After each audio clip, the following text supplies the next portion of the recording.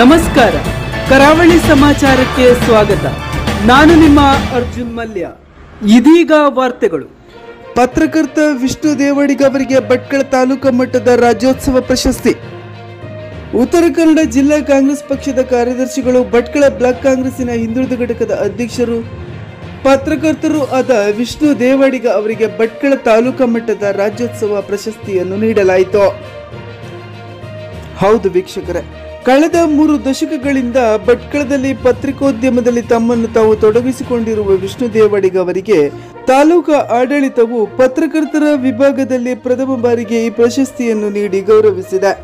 ಭಟ್ಕಳದ ಪತ್ರಕರ್ತ ಸಂಘದ ಅಧ್ಯಕ್ಷರಾಗಿಯೂ, ರಾಜ್ಯ ಉಪಾಧ್ಯಕ್ಷರಾಗಿಯೂ, ರಾಷ್ಟ್ರೀಯ ಕಾರ್ಯಕಾರಿ ಮಂಡಳಿಯ ಸದಸ್ಯರಾಗಿಯೂ ಸೇವೆ ಸಲ್ಲಿಸಿದ ಅನುಭವವನ್ನು ಹೊಂದಿರುವ ಇವರು ಸಮಾಜದ ಓರ್ವ ಮುಖಂಡರಾಗಿದ್ದಾರೆ. ಕಾಂಗ್ರೆಸ್ ಪಕ್ಷದ ಸ್ಥಳೀಯ ಮುಖಂಡರು ಮತ್ತು ತಾಲೂಕಾ ಪಂಚಾಯತ್ ಸದಸ್ಯರಾಗಿಯೂ ಕಾರ್ಯನಿರ್ವಹಿಸಿರುತ್ತಾರೆ. ಈ ಬಗ್ಗೆ ವಿಷ್ಣು ದೇವಾಡಿಗ ಅವರು ಮಾತನಾಡುತ್ತಾ, ನನ್ನ ಜೀವನದಲ್ಲಿ ಅನೇಕ ಸಮಾಜ ಸೇವೆಗಳಲ್ಲಿ ನಾನು ತೊಡಗಿಕೊಂಡಿದ್ದೇನೆ. ಜಿಲ್ಲೆಯಲ್ಲಿ ಅನೇಕ ಸಂಘ ಸಂಸ್ಥೆಗಳಲ್ಲಿ ಕಾರ್ಯವನ್ನು ನಿರ್ವಹಿಸಿರುತ್ತೇನೆ. ತಾಲೂಕಾಡಳಿತ ಇದನ್ನು ಗುರುತಿಸಿ ನನಗೆ ಇಂದು ಕನ್ನಡ ರಾಜ್ಯೋತ್ಸವ ಪ್ರಶಸ್ತಿಯನ್ನು ನೀಡಿದ್ದೆ. ಇದಕ್ಕೆ ನಾನು ಹರ್ಷವನ್ನು ವ್ಯಕ್ತಪಡಿಸುತ್ತೇನೆ ಎಂದು ಹೇಳಿದರು. ಕರಾವಳಿ ಸಮಾಚಾರ ನ್ಯೂಸ್ ಬ್ಯೂರೋ.